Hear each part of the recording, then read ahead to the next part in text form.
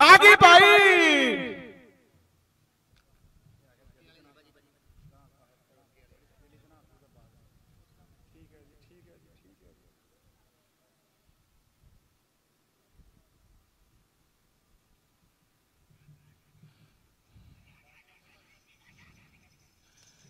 ਆਪਣੀ 20 second 85 point ਦਾ ਸਮਾਂ ਜੀ 20 85